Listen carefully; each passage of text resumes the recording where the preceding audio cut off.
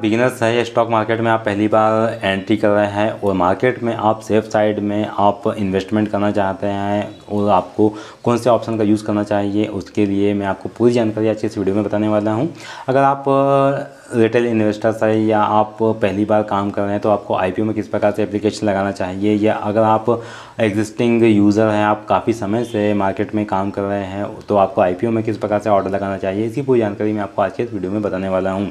कि आप आईपीओ में एप्लीकेशन लगा के आप इसमें अलॉटमेंट की जो प्रोसेस है, उसको आप कितने अपने फेवर में कर सकते हैं?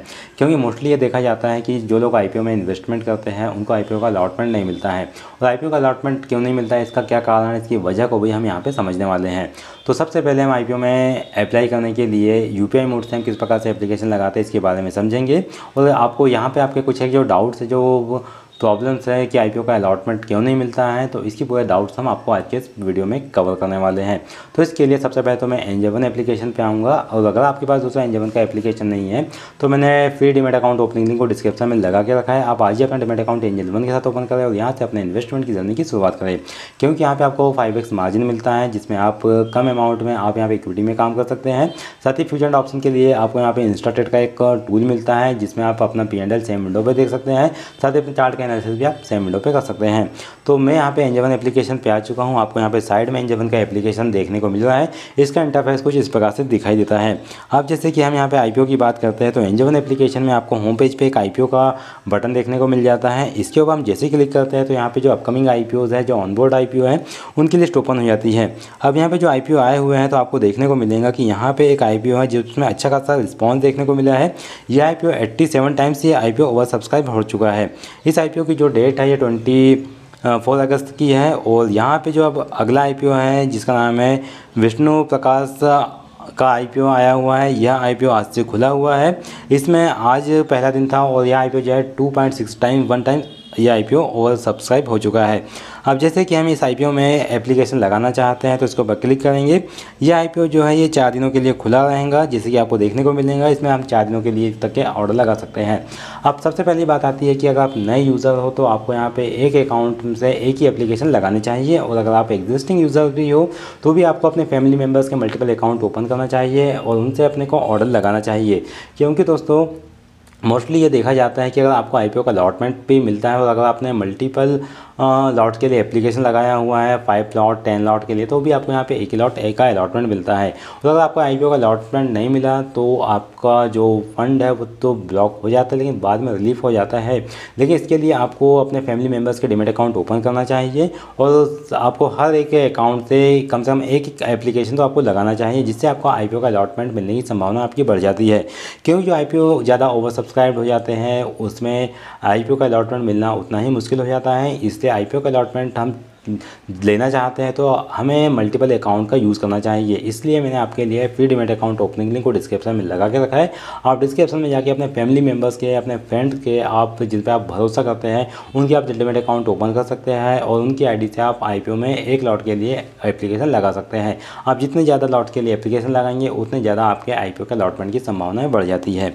अब जैसे कि हम यहाँ पर इस कंपनी की बात करें विष्णु प्रकाश आर कंपनी की बात कर रहे हैं तो इस आईपीओ में जैसे कि आप एप्लीकेशन लगाना चाहते हैं तो इसके में आपको जो मिनिमम इन्वेस्टमेंट है, ये फोर्टीन थाउज़ेंड हंड्रेड रुपीज़ लगेगा और इसमें आप एक लॉट के लिए वन हंड्रेड फिफ्टी शेयर्स के लिए ऑर्डर लगा सकते हैं और इसका जो प्राइस बैंड है, ये नाइन्टी फोर रुपये से लेकर नाइन्टी नाइन रुपीज़ का सेट किया गया है। अब यहाँ पर अगर मैक्सिमम लॉट के लिए एप्लीकेशन लगाना है तो थर्टी थ्री लॉट के लिए यहाँ पर हम एप्लीकेशन लगा सकते हैं और थर्टी थ्री लॉट में जो शेयर्स आएँगे, ये four thousand nine hundred fifty quantities आएँगी। जिसके लिए जो इन्वेस्टमेंट यहाँ पे लगने वाला है, ये four lakh ninety thousand fifty rupees हमें लगेगा। अब आपको देखने को मिलता है कि यहाँ पे कंपनी जो फंड जुटाना चाह रही है, ये तीन सौ आठ दशमलव अट्ठासी करोड़ रुपये यहाँ पे जुटाना चाहती है। कंपनी जो फंड जुटाएँगी, इसमें हो सकता है वो अपने बिज़नेस का व्याप को बढ़ाना चाहती है, या अपने कर्जे को कम करना चाहती है। तो इसलिए ये कंपनी मार्केट में आईपीओ को लेके आई हुई है। अब आपको देखने को मिलेगा कि आप यहाँ पे सब्सक्रिप्शन का नंबर देख सकते हैं कि इसमें कितना आईपीओ सब्सक्राइब हो चुका है। अब आईपीओ के बारे में हम बात करते हैं कि आईपीओ कब से कब तक के खुला रहेगा, इसका अलॉटमेंट कब मिलेगा। तो ये आई जो है, ये चौबीस अगस्त से खुला है और ये आई पी अगस्त को इस आईपीओ का ऑफ़र एंड हो जाएगा। इस आईपीओ का अलॉटमेंट इक्कीस, इकतीस अगस्त तक के कर दिया जाएगा और इस आईपीओ की जो लिस्टिंग है, पाँच सितंबर को हमें एन और बी दोनों स्टॉक एक्सचेंज पर होती हुई नज़र आएँगी। अब कंपनी के बारे में कोई जानकारी आपको यहाँ पर देखने को मिलेंगी कि कंपनी किस प्रकार से काम करती है। कंपनी का कारोबार क्या है? Company railway project road project irrigation network में काम करती है मतलब कि काफ़ी अच्छा खासा यहाँ पे है, कंपनी के बारे में जानकारी देखने को मिल रही है। अब आपको यहाँ पे नीचे में देखने को मिलेंगे, इसके तीन पॉजिटिव और तीन निगेटिव फैक्टर आपको देखने को मिलेंगे। आप इन तीन पॉजिटिव और निगेटिव फैक्टर को आप यहाँ पे देख सकते हैं कि आई में आपको एप्लीकेशन लगानी चाहिए या नहीं लगानी चाहिए। आपको इसके यहाँ पे तीन निगेटिव पॉइंट भी देखने को मिलेंगे। इन निगेटिव पॉइंट और पॉजिटिव पॉइंट पे विश्लेषण करने के बाद इस आईपीओ में हम एप्लीकेशन लगा सकते हैं। इसके बाद अधिक जानकारी के लिए एंजॉन एप्लीकेशन ने यहाँ पे एक पी भी लगा के रखा है। इस पीडीएफ को देखकर हम यहाँ पे आईपीओ से संबंधित अधिक जानकारी फाइंड कर सकते हैं। इसके बाद अप्लाई नाउ बटन नीचे देखने को मिलेंगी। इस पर क्लिक करना है नंबर ऑफ़ लॉट मेंशन करना है। मैं यहाँ पे एक लॉट के लिए ऑर्डर लगाना चाहता हूँ। एक लॉट में जो क्वांटिटी आ रही है, ये 150 क्वांटिटी आएँगी। अब कर आपको तो यहाँ पे देखने को मिलेगा कि यहाँ पे जो प्राइस है 94 और 99 तो यहाँ पे जो हमें ऑर्डर लगाना है, ये कट ऑफ़ पे लगाना होता है मतलब कि जो प्राइस आपको यहाँ पे देखने को मिल रहा है हायर प्राइस उस पर हमें ऑर्डर लगाना है। और यहाँ पे जो इन्वेस्टर टाइप है, ये इंडिविजुअली रखना है और डिमेट अकाउंट नंबर आपका बाय डिफ़ॉल्ट यहाँ पे आ जाता है। आप यू पी जो भी यूज़ करते हैं फ़ोनपे पेटीएम पे गूगल पे, वो आपको यहाँ पे रखना है। उसके बाद आपका जो अमाउंट है, जो fourteen thousand eight hundred fifty rupees जो है ये आपको अपने सेविंग अकाउंट में रखना है, क्योंकि आपका जो फंड है सेविंग अकाउंट से ब्लॉक होता है डिमेट अकाउंट से नहीं होता है। इसके बाद अप्लाई फॉर आईपीओ के ऊपर क्लिक करना है। जैसे क्लिक करते हैं तो आपके सामने यहाँ पे कैंसिल और प्रोसीड का बटन आता है। यहाँ पे आपको प्रोसीड बटन पर क्लिक करना है। जैसे प्रोसीड बटन पर क्लिक करते हैं तो हमारा ऑर्डर यहाँ पे प्लेस हो जाता है। और जो हमने यहाँ पे एक यू पी के लिंक को यहाँ पे मेंशन किया है, उसके ऊपर एक वेरिफिकेशन लिंक जाएँगी। उस लिंक के ऊपर हमें यहाँ पे क्लिक करना है। एक ओटीपी नंबर आएगा, उस ओ नंबर को वहाँ पे एंटर करना है।